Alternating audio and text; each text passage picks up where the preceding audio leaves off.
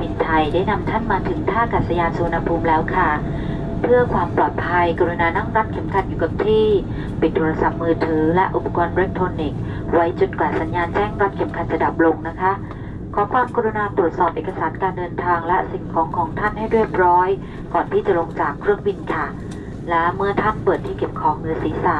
โปรดระมัดระวังสิ่งของที่อาจจะตกลงมาถูกตัวท่านหรือผู้อื่นได้ค่ะ ท่านผู้โดยสารสามารถรับกระเป๋าได้ที่สายพานหมายเลขเจ็ดค่ะ ผู้โดยสารทุกท่านที่เดินทางเข้ามาในราชอาณาจักรไทย กรุณาผ่านพิธีการตรวจคนเข้าเมืองและศุลกากร ที่ท่าอากาศยานสุวรรณภูมินี้ค่ะ ยกเว้น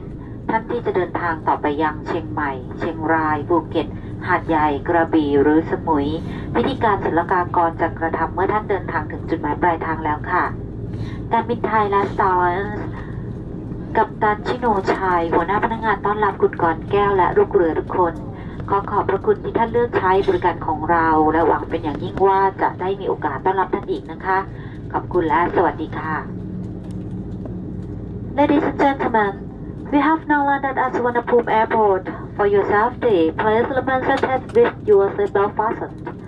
Your mobile phone and electronic devices off until the fasten seatbelt sign has been turned off. Please check your personal belongings and travel documents before leaving the aircraft.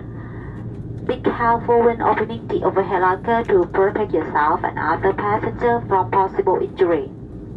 You may claim your baggage at Calasol number 7. All passengers entering the Kingdom of Thailand must clear immigration and customs at this airport But for those continuing to Chiang Mai, Chiang Rai, Phuket, Hat Yai, Krabi or Samui, custom clearance will take place at your destination.